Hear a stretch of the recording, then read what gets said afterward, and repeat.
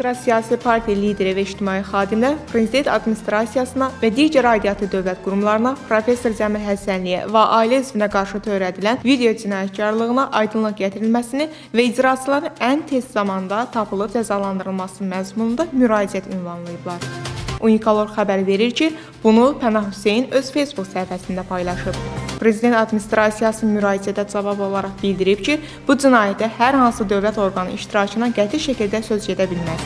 Əksinə, bu hadisə dövlətə və iqtidara qarşı, xüsusən müxalifət iqtidar münasibətlərinin normallaşması və təmayüllü siyasi dialoq kursuna qarşı geniş miqyaslı təxribat hesab edilir.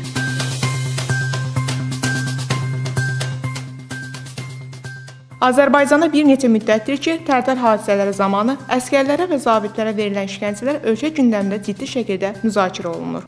Unikalor xəbər verir ki, Müsavat televiziyasının efirində qonaq olan Vətəndaş və İnkişaf Partiyasının sədri Əli Əliyev də tərtər hadisələrində baş verənlərlə bağlı fikrini bildirib.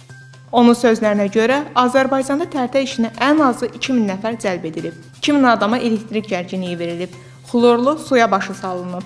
Əli ayağı bağlı adamlar göy ikinci mərtəbədən tullanıblar. Halbuki bu adamlar ikinci mərtəbədən asfaltın üzərinə atılıb. Bu hadisəni korpus komandiri Hikmət Həsənov və Tərtərin icra başçısı müşahidə edib, deyə o bildirib.